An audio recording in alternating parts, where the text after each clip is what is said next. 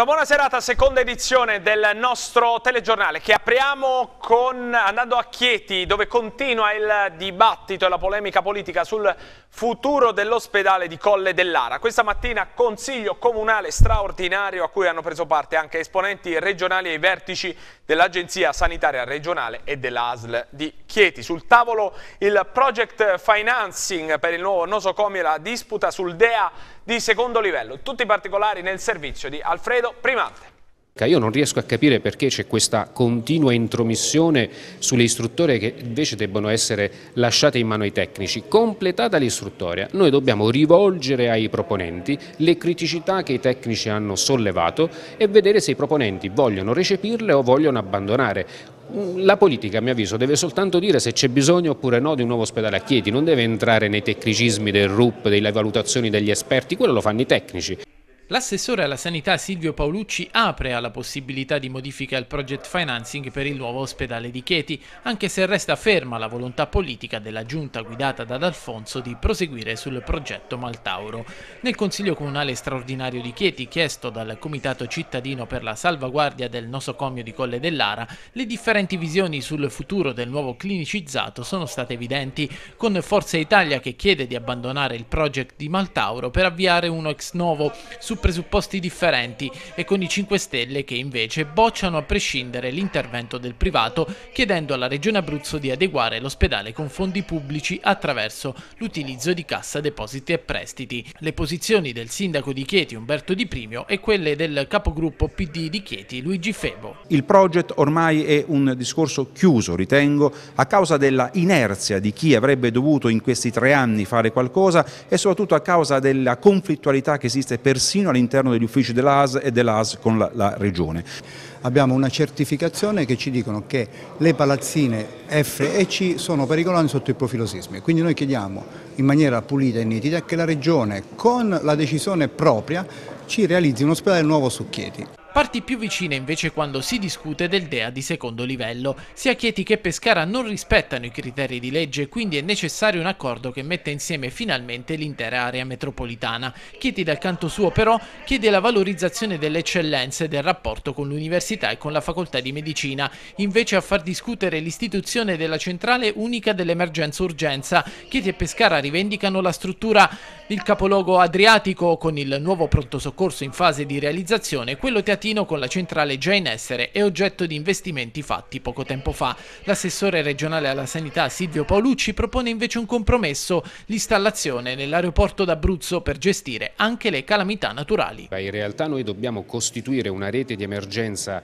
eh, di secondo livello che per poter portare e centralizzare le acuzie e soprattutto i tempodipendenti per quanto riguarda la rete cardiovascolare a Chieti e per quanto riguarda quella legata alla neurochirurgia e dunque la testa a Pescara ha bisogno di un unico comando perché altrimenti ci sarebbe sempre uno smistamento filtrato a danno dei cittadini. Questa è l'utilità della centrale unica. Siamo convinti che debba essere dotata eh, anche della possibilità di intervenire in caso di maxi emergenze eh, parliamo del sismo o di ulteriori maxi emergenze possano verificarsi e vorremmo discutere della possibilità di trovare nella soluzione dell'aeroporto una soluzione che possa garantire anche appunto le maxi emergenze. Ci spostiamo a Teramo, questa mattina eh, visita del sottosegretario ai beni culturali Ilaria Buitoni che ha visitato la città accompagnata dal sindaco Maurizio Brucchi e dal consigliere regionale Luciano Monticelli. Durante il sopralluogo al Teatro Romano l'associazione Teramo Nostra ha consegnato al sottosegretario un dossier sui ritardi per il recupero dell'importante bene archeologico. Tania Bonnici Castelli. La vostra cattedrale è semplicemente stupenda. Con questa esclamazione spontanea e sincera è iniziata la visita a Teramo del sottosegretario di Stato al Ministero dei Beni e delle Attività Culturali Ilaria Borletti Buitoni. L'onorevole Buitoni ha scelto di essere in città per godere del panorama culturale teramano e per affrontare alcuni temi spinosi del territorio, come il problema della biblioteca ex provinciale Delfico, ma soprattutto quello della ristrutturazione del teatro romano che stenta ancora a decollare. Soprattutto quando un territorio come Teramo, importante e colpito dal terremoto, chiede una visita, secondo me è sempre giusto rispondere rapidamente e positivamente. Quindi ascoltare quello che oggi verrà detto, ascoltare quelle che sono le richieste da parte delle istituzioni di Teramo, portare la presenza del Ministero che ricordo essere forte e presente in tutto quello che riguarda il post terremoto, pur ben presente che è stato immenso il danno al patrimonio culturale, quindi si fa quello che si riesce a fare, però ci siamo e quindi sono contenta di essere qui. Il Teatro Romano mi pare un'opportunità straordinaria per la comunità di Teramo, quindi io so che da parte del nostro Ministero ci sarà tutta la collaborazione possibile, ma poi ripeto, sono qui perché mi hanno chiesto di venire e l'ho fatto subito e molto volentieri perché questa è stata una comunità profondamente colpita. Al termine della visita al Teatro Romano di Teramo, le associazioni di quartiere e Teramo Nostra hanno consegnato al sottosegretario Boitoni un dossier sui ritardi e le incongruenze che da vent'anni bloccano il progetto di recupero del bene archeologico, tra i più importanti del centro Italia. Vigilerà su questo progetto del Teatro Romano? Se ci sono ritardi o se ci sono incongruenze con quello che è il percorso che è stato stabilito, prometto di intervenire, perché non è giusto che ci siano e perché mi pare che ormai ci sia una convergenza sul progetto, quindi i ritardi possono essere solo di natura burocratica e naturalmente questo va sempre evitato con tutte le forze possibili. Una volta che c'è stata questa convergenza da parte del Ministero non c'è ragione che questi ritardi ci siano.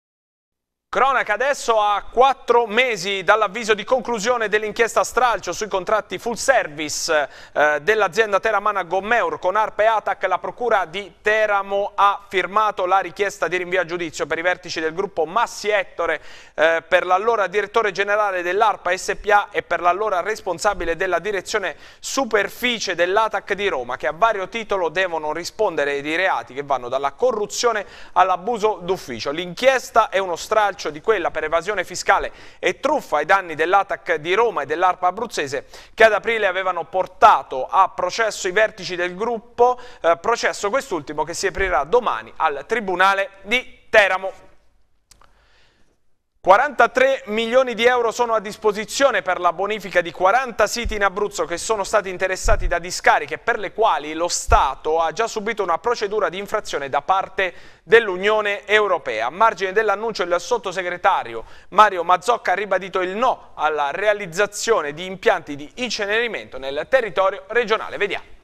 Sono tre procedure, nell'unico caso dei siti eh, inquinati da bonificare ha comportato una sanzione eh, quantificata eh, nel 2014 eh, in 10 milioni di euro più 200 mila euro ogni semestre di mancata bonifica, eh, riguarda 25 siti individuati nel 2009 sulla scorta di un'indagine della forestale, eh, estesa su tutto il territorio nazionale. Fin dal luglio del 2014 siamo riusciti a recuperare un importante finanziamento da parte del Ministero dell'Ambiente di circa 14 milioni di euro eh, che insieme ad altri fondi che sono pervenuti dal, dallo Stato con una delibera CIPE eh, e anche impegnando dei fondi che abbiamo inserito nel master plan per oltre 12 milioni di euro, noi investiremo questi 40 3 milioni di euro circa per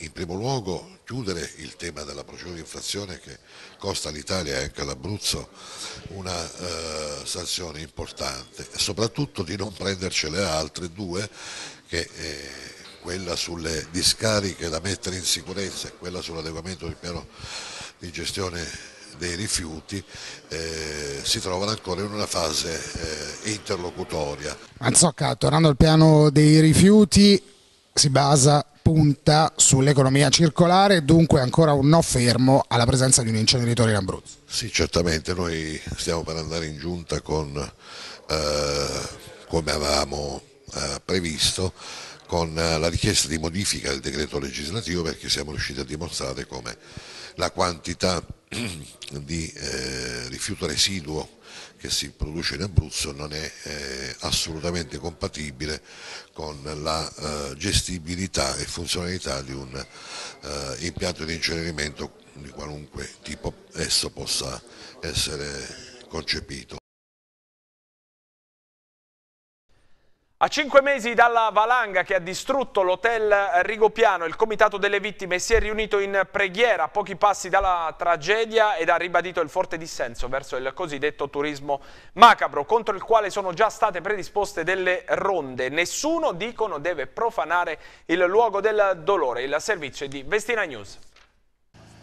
Sono passati cinque mesi da quel 18 gennaio, quando una valanga ha completamente spazzato via l'hotel Resort Rigopiano, provocando la morte di 29 persone. E ieri, 18 giugno, il Comitato Vittime di Rigopiano si è riunito sul luogo della tragedia in un momento di preghiera e per attuare delle ronde, così da denunciare con una documentazione fotografica chiunque si recherà sul luogo per un selfie dell'orrore, come avvenuto nei giorni scorsi. Cerchiamo di fare questa bonifica a mani nude, almeno per la prima fase. So che sarà un po' più costoso, ma è, è doveroso farlo. Le cose più preziose abbiamo perse il 18 di gennaio. Abbiamo i ricordi, i ricordi che sono rimasti là, là sotto, che potrebbe essere l'indumento indossato la sera prima, la valigia, il, il, la, la, catenina, qualunque esso sia che ricordi il nostro, il nostro il nostro caro. Avendo saputo che i carabinieri hanno finito la, la, sorveglianza H24 abbiamo detto ma adesso chi si prende cura di questo posto, chi si prende cura dei nostri ricordi. Abbiamo detto più volte, abbiamo chiesto più volte la possibilità di sorvegliarla H24, al che eh, la, la cosa è stata in, impossibile, non per i motivi, abbiamo deciso con un, diversi, con un comunicato di, di, di, farlo noi. Adesso facendo questa ronda eh, fa, fatta di tornazioni di famiglie possiamo soltanto verificare che non siano, non sono state eh, ehm, infrazioni per entrare all'interno. Sceglieremo delle postazioni dove poter star fissi, il sabato e la domenica saranno quei due giorni che avranno sicuramente più interesse i, i turisti del Macabro e, e quindi lì saremo più, più, attenti. Nel pomeriggio appena per gli 80 anni della Costituzione del Comitato della Croce Rossa Italiana della città Vestina c'è stata l'intitolazione della sede a Gabriele D'Angelo, cameriere dell'Hotel Rigopiano, anch'esso vittima della valanga. E Gabriele D'Angelo era una persona straordinaria come poi fra l'altro erano tutti e 29 le vittime, ma Gabriele D'Angelo ha dimostrato eh, la passione eh, per, per un, la dedizione per un lavoro, quello di, di prestare soccorso a, a, alle persone, lo faceva a titolo completamente completamente gratuito a tempo, a tempo eh, perso diciamo, nel, nel lobby, no? mentre una persona, un ragazzo normale va a giocare a calcetto, va esce con la ragazza, va a bere una birra, lui eh, faceva la, la turnazione in ambulanza, vuol dire che aveva un grande cuore e questo grande cuore noi lo vogliamo ricordare.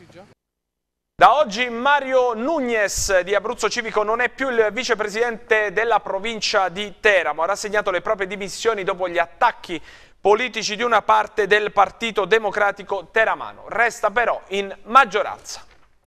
Mario Nunez, consigliere provinciale di Abruzzo Civico, ha rassegnato le proprie dimissioni da vicepresidente della provincia di Teramo, una scelta personale fatta nell'ottica di rafforzare l'armonia politica all'interno della maggioranza di centrosinistra in provincia, dopo lo strascico di polemiche partite dal consigliere del PD Maurizio Verna, che rivendicava per sé la vicepresidenza. È stata una riflessione, devo dire, lunga ma non lunghissima. Non ho accettato un diktat, ma è stata una scelta di responsabilità e per chi mi conosce e conosce il gruppo da cui provengo, la responsabilità a volte eh, comporta delle scelte controcorrente. È una scelta soprattutto in vista di un miglioramento di quello che può essere un lavoro qui in provincia, che in questi ultimi mesi veniva visto più in una lotta interna tra una parte del Partito Democratico e Abruzzo Civico e invece non emergevano come dovevano i meriti di questa amministrazione provinciale, di un gruppo facente con a capo il Presidente Renzo Di Sabatino, ma un gruppo di consiglieri, assessori, delegati che sta alacremente lavorando per il bene di questa provincia. Il futuro come sarà?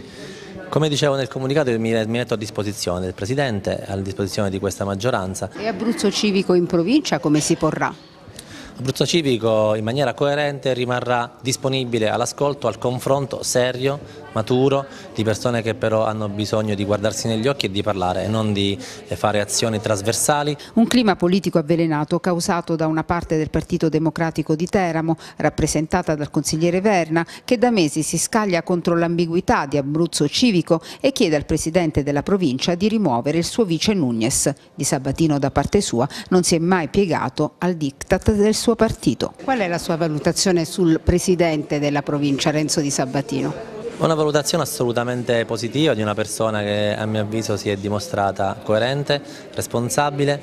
Eh, ho potuto scoprire, stando lì vicino come vicepresidente, una persona molto preparata e soprattutto pronta ad entrare in maniera rapida su tutti gli argomenti e su tutte le tematiche che attraversano il mondo provinciale. No allo Ius Soli e pugno di ferro contro l'immigrazione clandestina sono queste le linee guida del Movimento Nazionale per la Sovranità che questa mattina ha fatto il suo debutto ufficiale in Abruzzo con la presentazione del partito a Pescara a cui hanno partecipato il presidente Francesco Storace e il segretario nazionale Gianni Alemanno di cui ascoltiamo l'intervista. Noi siamo ovviamente oggi protesi alle elezioni regionali che si preparano e anche alle elezioni politiche nazionali, dove ci auguriamo che il centrodestra sia unito, ma senza compromessi a ribasso. Ripeto, noi dobbiamo partire dai diritti degli italiani. Se non difendiamo i diritti degli italiani non c'è nessuna speranza di futuro per i nostri figli. Bisogna lavorare, certo, bisogna lavorare per un centrodestra unito senza compromessi a ribasso. Cosa vuol dire questo? Vuol dire che noi possiamo confrontarci da Forza Italia, dalle formazioni che hanno votato per il no referendum eh, fino alle formazioni di destra. Però il tema, ci sono alcuni fatti su cui non si può discutere, la nostra critica all'Unione Europea, la nostra critica alla globalizzazione, la nostra volontà di bloccare l'immigrazione. In questo caso solo misure drastiche possono eh, dare dei risultati. Noi riteniamo che si debba fare un blocco navale davanti alle coste libiche, non è impossibile, si tratta di bloccare i barconi e di riaccompagnarli ai porti di provenienza. Se si fa questo nel giro di poche settimane l'immigrazione viene bloccata e il Mediterraneo torna ad essere un mare controllato dalla nostra marina. Se invece si continua a portare gli immigrati qui in Italia diventa impossibile rimandarli indietro. Noi sappiamo che circa l'80% dei cosiddetti rifugiati, richiedenti asilo sono sostanzialmente dei clandestini per motivi economici, quindi vanno rimandati a casa, ma mancano, mancano i soldi e l'organizzazione per fare questo. E ci spostiamo all'Aquila in vista del ballottaggio, il nome di Pierluigi Biondi come primo sulla scheda elettorale al secondo turno. Oggi l'estrazione. Biondi, Biondi primo e...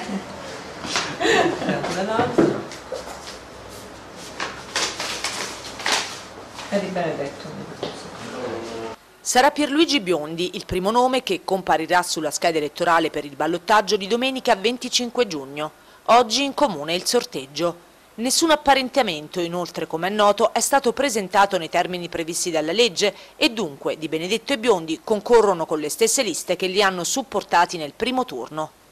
Nei giorni scorsi c'era stato il tentativo di Giancarlo Silveri che aveva allargato a Pierluigi Biondi con riscatto popolare, ma questo appello è caduto nel vuoto e l'ufficialità di fatto dice che nessun apparentamento ci sarà in questo tiratissimo ballottaggio. Le altre forze in campo erano state già del resto chiare dall'inizio sul fatto che non avrebbero dato nessuna indicazione di voto. Così la Cimoroni, candidata della coalizione sociale, così Trifuoggi dell'Aquila Polis, stessa cosa per il Movimento 5 Stelle. Intanto Casa Pound ha preso le distanze dalle affermazioni dell'avvocato aquilano Maurizio Dionisio che aveva spiegato di voler dirottare i suoi voti al primo turno destinati alla loro candidata Claudia Pagliariccio al candidato di centrosinistra Americo Di Benedetto. La posizione da lui espressa, dicono, non è quella ufficiale del nostro movimento, lui parla esclusivamente a livello personale. Restiamo sempre all'Aquila dove si è svolta una sessione dell'assemblea annuale di Confesercenti, in diretta anche con Roma, Torino e Palermo. Alla guida nazionale appena eletta una donna, il servizio di Daniela Rosone. Per la prima volta l'Abruzzo ha ospitato una sessione dell'Assemblea nazionale di Confesercenti. L'associazione che rappresenta il terziario e la piccola impresa italiana ha tenuto la sua assemblea annuale in diretta da Roma, Torino, Palermo e L'Aquila. Nel capoluogo di regione l'appuntamento all'auditorium del parco, alla presenza di vertici istituzionali, politici, religiosi e militari, il giornalista Nicola Porro ha condotto un talk show al quale, in diretta dalle sede collegati, hanno partecipato Sergio Chiamparino, Chiara Appendino, Luciano D'Alfonso, Massimo Cialente, Rosario Crocetta, Leoluca Orlando, il ministro Calenda e altre personalità della politica. Allora, per la prima volta l'Assemblea Nazionale di Confesercenti si svolge all'Aquila, perché la scelta? La scelta ovviamente signore, per signore, il momento delicato che la, regione, che la nostra regione sta attraversando e anche per i buoni risultati che la nostra organizzazione sta eh, ottenendo negli ultimi anni all'interno di questa regione. Abbiamo avuto l'elezione della nuova Presidente, è legatissima alla nostra regione, è legata all'Aquila, è eh, la Presidente di Federal Franchising, è stata ospite della nostra regione qualche mese fa e eh, ci auspichiamo che spesso torni e ci avviamo un percorso insieme unanime. Sono 13 i varchi ZTL che a Pescara saranno dotati di telecamere e pannelli luminosi per indicarne l'attività. Entro un paio di mesi i lavori per una somma di 65.000 euro. Eh, saranno completati e le telecamere messe a regime. Nessuna modifica invece per le ordinanze istitutive delle zone a traffico limitato che restano invariate. Assessore, i varchi di Pescara saranno dotati eh, di eh, telecamere ma soprattutto di display per avvisare eh, che in quel momento è attiva o no la ZTL. Sì, esatto, secondo me è un, è un fatto molto importante per, per aumentare l'efficacia e l'efficienza di questo servizio eh, quindi sì, metteremo telecamere, stanno già nell'arco di due mesi saranno installate, sono già in corso di installazione queste telecamere riposizionate in un modo appunto, più efficiente rispetto a quello attuale e poi ciascun varco avrà appunto un display per indicare che il varco è attivo o non attivo, questo mi pare che insomma, ci porti un po' una, verso una modernizzazione, un miglioramento dell'efficacia della gestione di questo, di questo servizio in alcune zone, per esempio la cosiddetta ZTL ambientale di Regina Margherita, viene attualmente chiusa il sabato e la domenica con una transenna e con la presenza di vigili che insomma, oltre a impegnare personale che potrebbe fare altro non è del tutto eh, efficace e sicuro dal punto di vista della circolazione. Invece con questa telecamera e con appunto, il display la cosa potrà essere gestita in modo molto più eh, vantaggioso per tutti. Durante la conferenza stampa avete sottolineato anche il problema del grande lavoro eh, che occupa gli uffici comunali per i permessi temporanei. Allo studio c'è anche un sistema automatizzato. Sì, questo è una cosa che vorremmo assolutamente fare, si parla di 1800 permessi che vengono rilasciati annualmente per gli accessi temporanei alla ZTL, che è un'attività rutinaria e non richiede eh, grande, grande, impegno dal punto di vista intellettivo ma richiede invece mh, mm, il dispendio di tempo e di energie, anche qui potrebbe essere usato questo tempo per fare altre cose, quindi stiamo pensando a un, a un software, a un uso di una con, con, per esempio con gli smartphone del, delle applicazioni, eh, come si fa già in altre città, stiamo guardando alcuni esempi, Bologna, Varese, eh, cercheremo questo l'anno prossimo, non fa parte di questo progetto, di andare in questa direzione anche, anche noi a Pescara. Inaugurato a Colle Corvino il nuovo centro di raccolta rifiuti della Rieco, un passaggio che dà ulteriore spinta ai buoni risultati della raccolta differenziata del comune della Valtavo.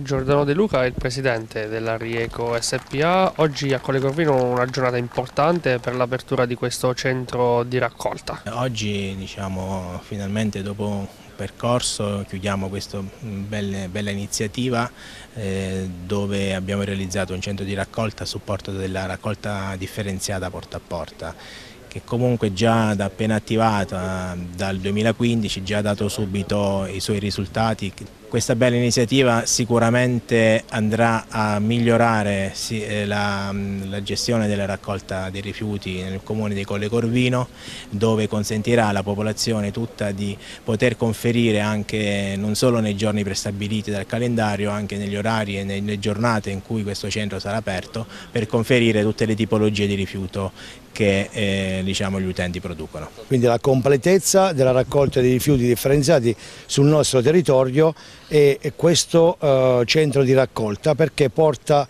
a completezza tutto ciò che non si può differenziare, cioè si può differenziare a casa ma non si ha la possibilità o perlomeno se si ha la possibilità ma con grosse difficoltà. Oggi invece abbiamo dato un servizio in più alla nostra collettività perché nei tre giorni per il momento di apertura settimana quindi qualcuno ha la possibilità di smaltirli subito, correttamente, rispettando l'ambiente.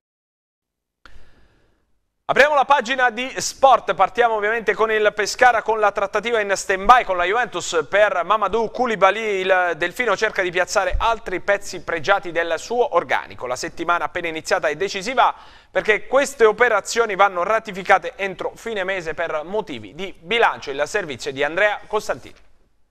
Vincenzo Fiorillo, Francesco Zampano, Cristiano Biraghi e Leian Memushai Quattro nomi intorno ai quali ruoterà il mercato in uscita del Pescara. Quattro nomi che potranno permettere al Delfino quelle manovre per poter dare più equilibrio al bilancio. Manovre da portare a termine entro la fine del mese. La partenza di Fiorillo non è una priorità. Il portiere genovese a Pescara sta bene, ma tutto può essere rimesso in discussione dalle richieste delle neopromosse Spal e Benevento. Ecco che una sua partenza ora non è da escludere. Leidian Memushai è blindato da un contratto col Pescara a scadenza 2021 su di lui c'era il Bologna, poi si sono fiondate dalla Svizzera il Sion, dalla Francia il Lille.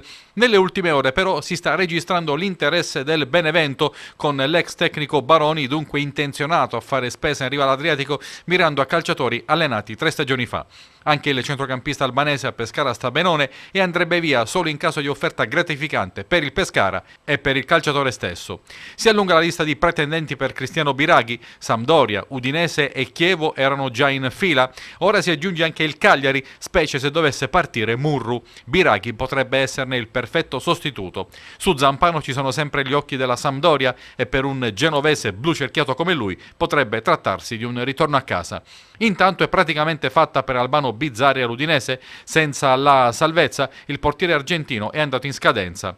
Se per i giocatori citati c'è del mercato, più difficile per i DS Leone e Pavone sarà piazzare i difensori Code Stendardo ancora sotto contratto e che per età e propensione agli infortuni non stanno attraendo delle offerte.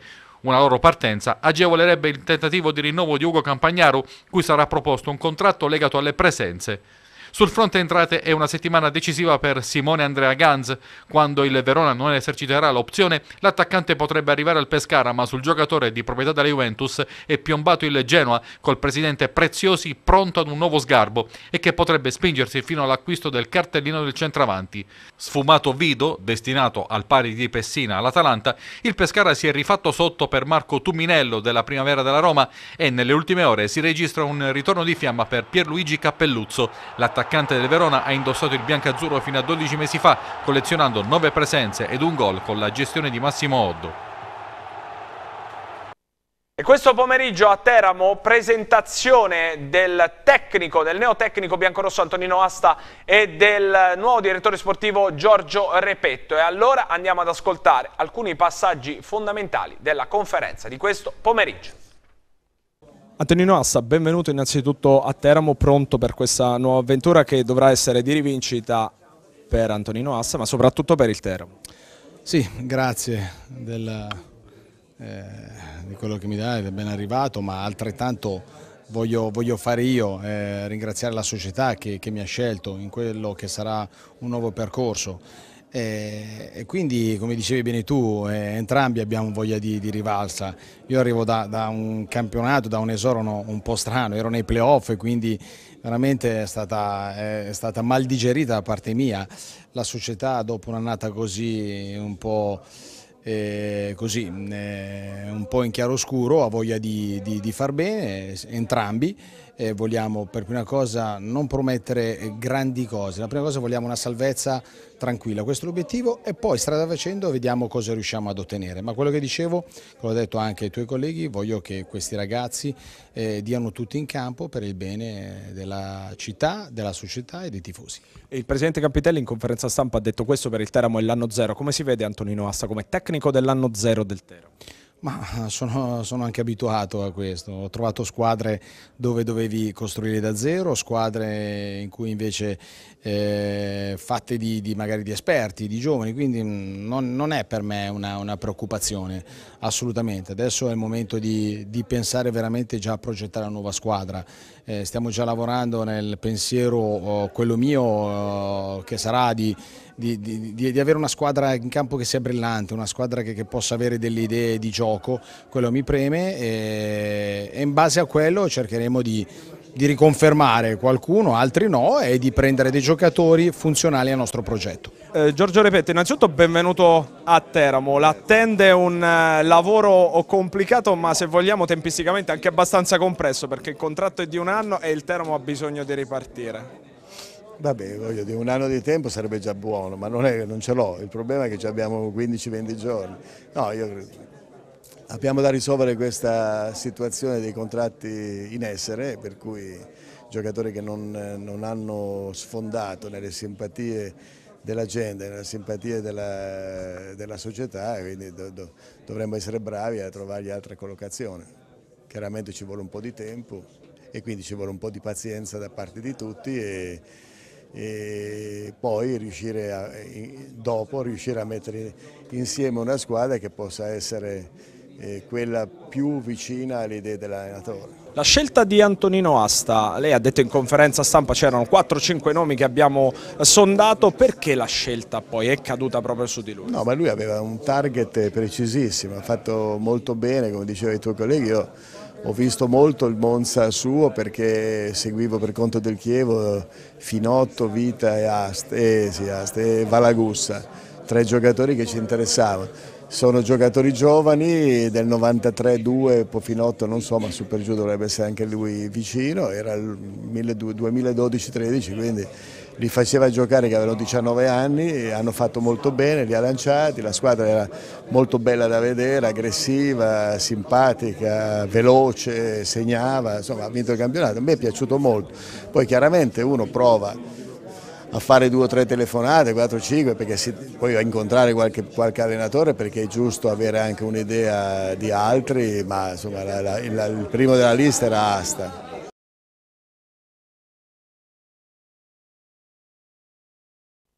E vi ricordo che questa sera potrete seguire a partire dalle ore 21 sul nostro canale, il 14 del Digitale Terrestre, la conferenza stampa integrale della presentazione di Antonino Asta e Giorgio Repetto. Dunque appuntamento alle 21, sempre su eh, TV6 per eh, i tifosi del Teramo per rivedere quanto è accaduto questo pomeriggio nella sala stampa del eh, Bonolis. E a proposito di Teramo, ieri ultimo atto della manifestazione giovanile organizzata a Teramo dalla Bonolis FC eh, dedicata a Carmine Rodomonti. Le impressioni del figlio Carlo e del vicepresidente della Bonolis Luca Di Domenico. Vediamo.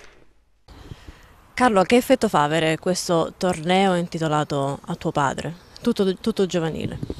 Beh, è sicuramente una bella sensazione, nel senso che la città di Teramo è capace di ricordare, di onorare la figura di mio padre in modo significativo. L'ho fatto recentemente con eh, con il premio Carmine Rodomonti, sempre con l'associazione Bonolis e questa credo sia ancora più vicina alla, allo spirito di mio padre, nel senso che il settore giovanile è probabilmente la parte più sana, pura e libera da costrizioni, anche se un po' tutti quanti vogliono fare la Serie A, però è forse la fase migliore del calcio, anche eh, sia i ragazzini che gli allenatori sono quelli che si dedicano in modo più umano e vivo. Quindi è un bel, è un bel link legare ai giovani la figura di mio padre. Luca Di Domenico come vicepresidente della FC Bonolis facciamo un po' un bilancio di, questo, di, questa stagione che si è andata a concludere. Sì è stato un bilancio sicuramente positivo perché quando vediamo il sorriso dei nostri ragazzi vediamo che comunque tante famiglie ci si congratulano con noi per il lavoro che stiamo svolgendo e sicuramente dietro a tanto lavoro che c'è è sicuramente un momento di grossa soddisfazione, quindi arrivare a fine anno anche un po' stanchi, però eh, vedere ecco, il sorriso delle famiglie, il sorriso dei bambini è sicuramente una, una grossa soddisfazione per noi. Magari non me lo dirai o magari è troppo presto, ma c'è qualche ragazzo teramano interessante sul quale magari il Teramo potrà puntare in futuro? Sì dai, diciamo che, che è ancora presto per, per, valutare queste cose. Sicuramente abbiamo dei bambini molto molto interessanti. Eh, molto interessanti perché siamo cresciuti a livello numerico, quindi anche sulla quantità diciamo che si fa anche una buona selezione. Eh, ogni anno cerchiamo ecco, di inserire dentro degli istruttori qualificati, cerchiamo di migliorarci ogni anno eh, per cercare di, di, essere, ecco, di, di, di, tendere alla perfezione della scuola calcio, ovviamente senza mai dimenticare quello che è lo spirito di una scuola calcio, no? il fatto che comunque prima di tutto i bambini debbano divertirsi, i bambini devono stare sereni, i bambini devono imparare delle regole e questo era il nostro ultimo servizio, il TG6 torna per l'edizione della notte alle ore 23. Per il momento io vi ringrazio per l'attenzione e vi auguro un buon proseguimento di serata.